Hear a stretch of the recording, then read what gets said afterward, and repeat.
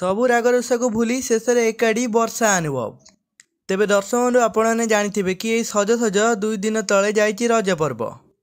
ତେବେ ଯାହା ଜଣାପଡ଼ୁଛି ରଜରେ କୁଆଡ଼େ ଅନୁଭବ ଓ ବର୍ଷାଙ୍କର ମନ ବଦଳିଛି।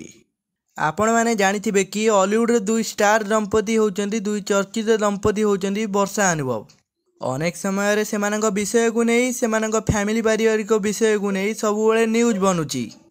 କି କେତେବେଳେ ବର୍ଷା ଅନୁଭବ ଏକାଠି ହେବ ଏବଂ ତାଙ୍କର ଫ୍ୟାମିଲିର ଆଗକୁ କ'ଣ କ'ଣ ହେବ?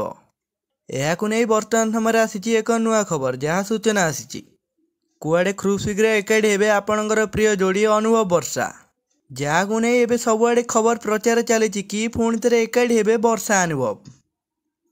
କାହିଁକିନା ସେମାନଙ୍କ ମନ ବର୍ତ୍ତମାନ ସମୟରେ ଧୀରେ ଧୀରେ ପରିବର୍ତ୍ତନ ହେଲାଣି। ଏବଂ ସେମାନେ ନିଜେ ନିଜେ ନିଜର ଭୁଲ ବୁଝିପାରି ବର୍ତ୍ତମାନ ସମୟରେ ନିଜ ରାଗରୁଷାକୁ ଭୁଲି ବର୍ତ୍ତମାନ ସମୟରେ ଏକାଠି ଗୋଟେ ନିଷ୍ପତ୍ତି ନେଇଥିବାର ସୂଚନା ଆସୁଛି। ଦର୍ଶକ ଆପଣମାନେ ଏହି ଖବରରେ କେତେ ଖୁସି ଅଛନ୍ତି ଏବଂ ଆପଣମାନେ ବର୍ଷା ଅନୁଙ୍କୁ କେତେ ଭଲ ପାଆନ୍ତି? ଆମକୁ କମେଣ୍ଟ ବକ୍ସରେ କମେଣ୍ଟ କରି ଜଣାନ୍ତୁ।